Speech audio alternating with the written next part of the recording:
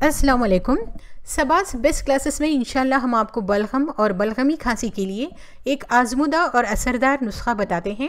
ये नुस्खा बहुत ही कारगर और आसान है।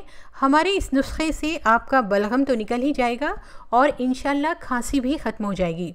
इस नुस्खे को ज़्यादा से ज़्यादा लोगों में शेयर करें ताकि दूसरे लोग भी इस नुस्खे से फ़ायदा उठा सकें और आप भी दुआओं के हकदार बन सकें। तो चलिए, इसे हम अब बनाना शुरू करते हैं। तो देखिए, ये लहसन है। लहसन की कलियाँ अलग कर लीजिए। इसके छिलके नहीं निकालने हैं हमको। इसे छिलके के साथ रखना है और एक इंसान के लिए छः पाँच से छः कलियाँ काफ़ी रहेंगी।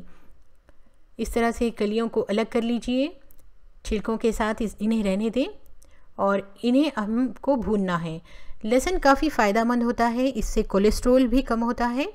तो अब हम इसे भूनना शुरू करते हैं तो गै, गैस ऑन कीजिए और ऑन करके इस पर तवा रखिए और फिर इस पर ये लहसन की कलियाँ डालकर भूनना शुरू कीजिए। तो देखिए लहसन को हमें मीडियम फ्लेम पर भूनना है आँच को तेज़ ना रखिए वरना लहसन ऊपर से जल जाएगा और अंदर से कच्चा ही रहेगा। मीडियम फ्लेम पर भूनने से ये अंदर तक पकेगा और इसमें मिठास आ जाएगी, इसकी तुरशी ख़त्म हो जाएगी और ये काफ़ी नरम हो जाएगा और आपको खाने में कोई प्रॉब्लम नहीं होगी।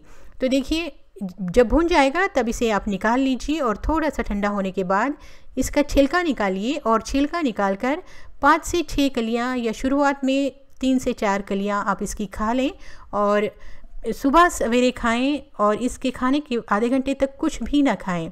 यानी इसे आप खाली पेट खाएँ और इसे खाने के बाद आधे घंटे तक कुछ ना खाएँ। इन आपकी सर्दी, खांसी वगैरह कम हो जाएगी और बलगम भी निकल जाएगा।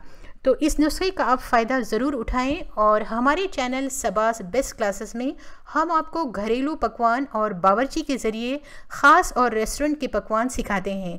तो हमें सब्सक्राइब करके आप सही पकवान सीखें और इसका फ़ायदा ज़रूर उठाएँ। तो इन फिर मिलते हैं एक रिक्वेस्टेड और यूज़फुल रेसिपी के साथ। थैंक्स फॉर वॉचिंग सबास बेस्ट क्लासेस।